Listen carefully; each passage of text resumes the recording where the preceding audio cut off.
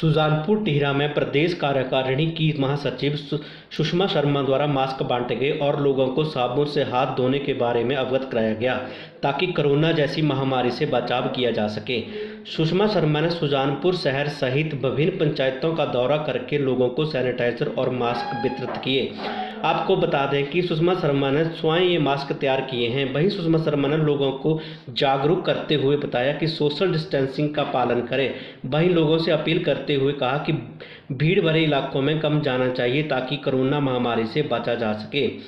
जिला हमीरपुर में लगातार कोरोना मरीजों की संख्या बढ़ रही है, जिसके लिए उन्होंने लोगों को सार्वजनिक स्थानों पर कम जाने की नसीहत दी है, ताकि लोग घरों में रहें और सोशल डिस्टेंसिंग का पूरा पालन करें।